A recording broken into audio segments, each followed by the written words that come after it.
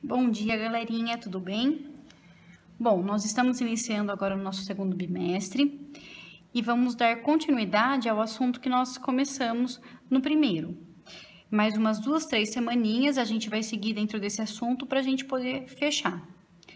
Então, nós vimos no primeiro bimestre sobre as características dos seres vivos, que a célula é a unidade básica da vida, nós conhecemos as organelas e suas funções, e agora a gente vai dar continuidade através dos níveis de organização do corpo humano.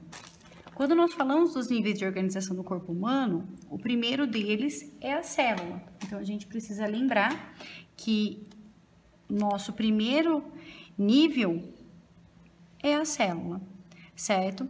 Aqui eu coloquei alguns tipos de células, então a gente consegue ver que mesmo diante daquelas características que nós diferenciamos o ser vivo de um não ser vivo, né? Então que ele tem que ser possuir uma célula e, é que, e que essa célula, então ela pode ser procarionte ou carionte, uma célula animal ou uma célula vegetal.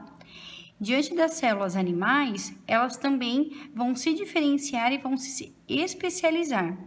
Então, aqui nós temos alguns exemplos de células sanguíneas. E dentro desse grupo de células sanguíneas, nós temos algumas específicas, que são as hemácias, os leucócitos e as plaquetas.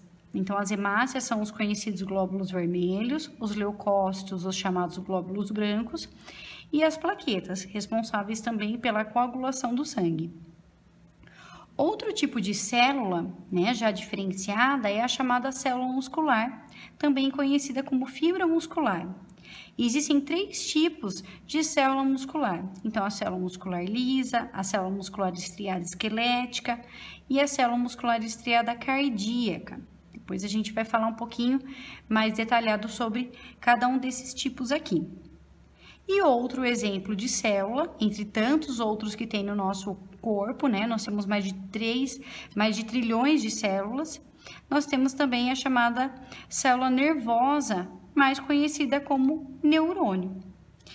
Então, se a célula ela é a unidade básica da vida, um conjunto de células de mesma origem e que realizam determinada função, ou seja, executam uma função em comum, nós chamamos esse conjunto de células de tecido. E esse tecido no corpo humano, ele apresenta quatro variações, quatro grandes grupos de tecidos que nós vamos estudar. O chamado tecido epitelial, o tecido conjuntivo, o tecido nervoso e o tecido muscular. Então, uma única célula né? Quando ela se diferencia e ela se agrupa a células de mesma origem e com uh, funções semelhantes, nós chamamos de tecido. Dentro desse tecido, nós conseguimos diferenciá-lo em epitelial, conjuntivo, nervoso e muscular. Então, Aqui nesse esqueminha a gente consegue ver, então, a célula unidade básica da vida, um conjunto de células especializadas nós chamamos de tecido, e quando eu tenho dois ou mais tecidos que trabalham para o funcionamento do organismo, para o funcionamento do corpo, eu vou chamar então essa estrutura formada por esses tecidos de órgão. Então, aqui eu representei o estômago, certo?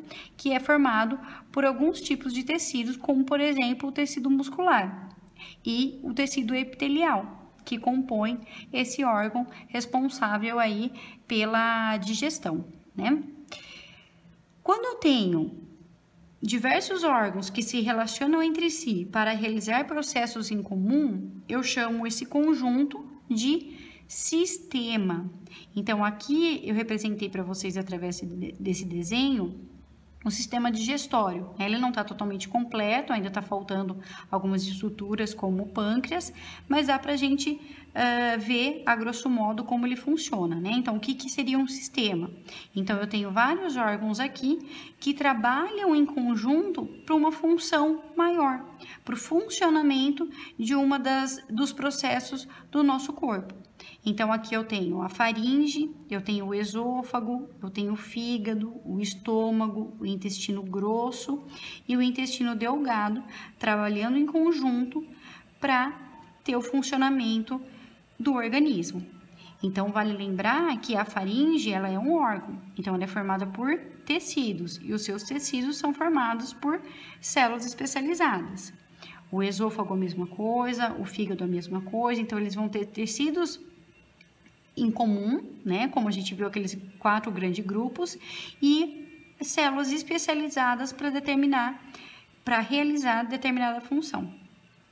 E aqui nós temos, então, o conjunto de sistemas integrados, né, funcionando em parceria para formar o nosso organismo.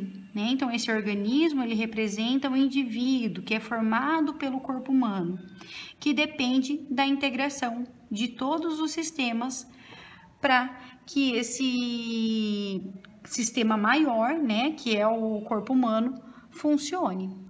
Tudo bem, pessoal? Então, essa é a nossa videoaula para essa semana, para vocês conseguirem fazer agora a próxima atividade.